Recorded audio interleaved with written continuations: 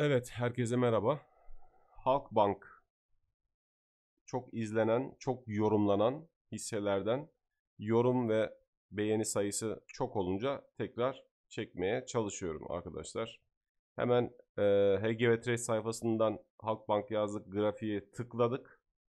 Önümüze Trading View sayfasının grafiği geldi. Bu grafikte şimdi size yeni bir şey de göstereceğim. Bu arada Şurada yeşil bir kutucuk görüyorsunuz. Bu yeşil kutucuk ne anlama geliyor? En sonki günlük listede listeye girmiş demektir. Nedir o? Bizim biliyorsunuz HGV Trade sayfasına geldiğinizde günlük listelerimiz var. Günlük haftalık listelerimiz ve orta vadeli listelerimiz var. Günlük listeye tıkladığınızda en son çıkan yeni bölümünde buraya gelip Halkbank yazdığımızda bakalım listeye girmiş mi? Evet bakın listeye girmiş. Bunu biz nerede görüyoruz? Grafiğe geldiğimizde burada yeşil bir okla görüyoruz. Şimdi bunu kaldıralım. Bizim kafamızı karıştırmasın. Halkbank'ta durum nedir? Yeni eklediğimiz bir şey var. HG Trade Lazer. Ona nereden ulaşacağız? Trendi nasıl takip edeceğiz? Şurada göstergeler bölümü var. Bu göstergeler bölümüne geliyorsunuz arkadaşlar. Burada ara kutucuğunun içerisine HGV yazdığınızda HGV Trade Lazer komutu yazılımı üstüne tıklıyorsunuz. Ve tıkladığınızda ekrana ne geliyor? Hemen mavi ve kırmızı e, bir çizgi geliyor. Bu bizim trendimiz. Trendin hangi yönde olduğunu gösteren bir yazılımımız. E, şimdi bu yazılım bize daha önce bakın şu alt bölgede bir e, yukarı yönlü trend başladı demiş ve bu trendi şuradaki dalgalanmaya rağmen devam ettirmiş ve burada şuraya geldiğimizde burada tekrar satışa döndü demiş. Bir aşağı yönlü trend başladı demiş ve şu an hala aşağı yönlü trendde ısrar ediyor. Bu çok önemli. Yani hisse bu kadar yukarı yönlü hareket yapmışken e, trend indikatörü hala diyor aşağı yönlü trend devam ediyor e, buradaki ölçümler çok önemli. Yani ya yukarı gitmiş nasıl aşağıyı gösteriyor, aşağı yönlü trend gösteriyor derseniz orada kişisel yorumlar yok. Burada matematiksel hesaplamalar var. Öyle bakmanız gerekiyor. Baktığımızda şu an böyle bir görüntü var. Peki bunu tek başına mı kullanacağız? Asla böyle bir şeyi tek başına kullanmayın. Niye? Çünkü dünyanın üzerinde hiçbir indikatör, hiçbir yazılım mükemmel değildir. Ne yapacaksınız?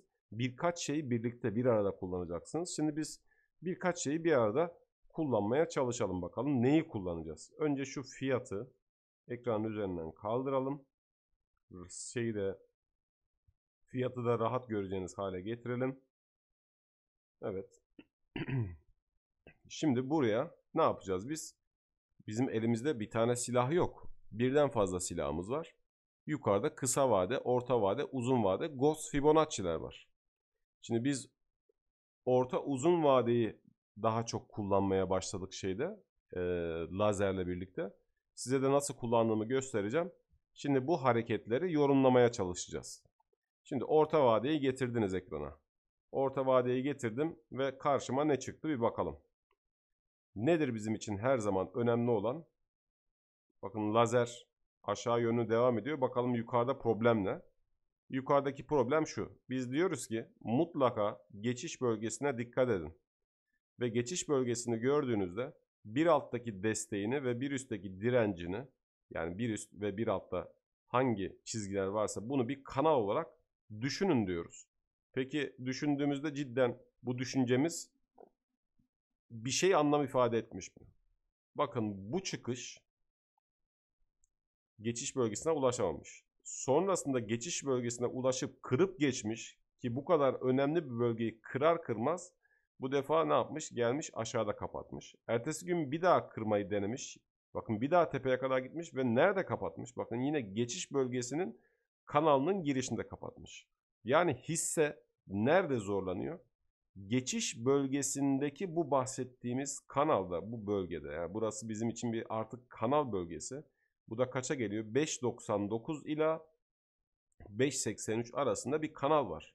Yani ben e, böyle e, formasyonlar şunlar bunlarla çok fazla bakmayın diyorum her zaman. Niye? Çünkü fiyatlar kanalların içerisinde geçiş yaparak ilerler. Yani formasyonlar etkili midir? Elbette etkili olabilir ama ben daha etkili olduğunu gördüğüm için bu yönteme döndüm ve e, faydasını da çok fazla gördüğüm için paylaşıyorum.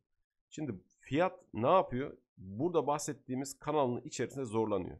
Ve indikatöre de dikkat ederseniz, yazılıma dikkat ederseniz hala alışı teyit etmedi. Yani yukarı yönlü bir durumu teyit etmedi. Trend yukarı yönlü dönmedi.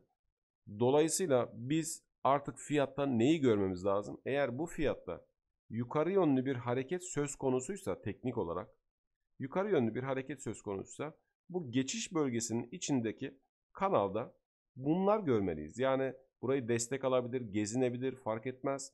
Ama buralarda görmemiz lazım. Ha, kırabilir mi? Şunu söyleyeyim. Ne kadar hızlı giderseniz bakın o kadar çabuk geri dönüyorsunuz.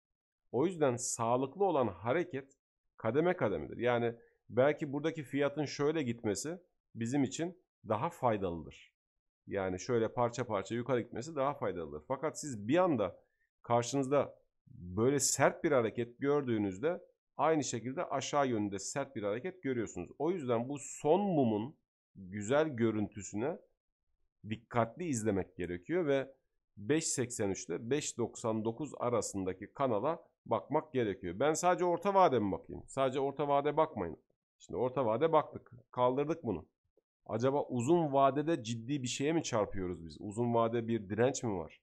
Bir problem mi var? Ona da bakalım. Geldik. Bakın uzun vadeye. Uzun vadedeki destek dirençler ve karar bölgesi. Bakın karar bölgesinin üzerinde kalmayı başarmış mı? Karar bölgesi fiyatın yani yorumlarken aslında yeni bir hareket için bir geçiş noktası gibi yorumlanabiliyor. Yani yazılımın altyapısı bunun üzerine kurulu. Şimdi karar bölgesinin üzerinde kapatmış mı? Evet bakın burada kapatmış. Düşüşe rağmen üzerinde kapatmış. Düşüşe rağmen e, yani yüksek kapatmış ama düş, düşüş değil bu. Burada da yukarıda kapatmış. Yani karar bölgesinin üzerinde kapatması güzel bir şey. Tamam. Bu elimizde. O zaman sen ne yapmayacaksın? 5.56'nın altına sarkma. Peki yukarıda problemimiz ne? Yukarıda bakın nereye uzanmaya çalışıyor sanki ellerini uzatır gibi. 6.26 seviyesi. Fakat bu hareketi çok hızlı yapıyor. Yani bu kadar hızlı şekilde arada karar bölgesi varken bu kadar hızlı şekilde yapmaya çalışırsanız dolayısıyla satışta yememeniz, yemeniz söz konusu olabiliyor. Neyi takip etmeliyim ben? Bir defa her zaman elinizde bir önlem noktası olması lazım. Benim için burada karar bölgesi yani 556 bölgesi milimetrik hesaplamayın bunu. 556 bölgesi benim için önemli bir. Trendin rengi önemli. Kırmızıda mıyım, mavide miyim? Önemli.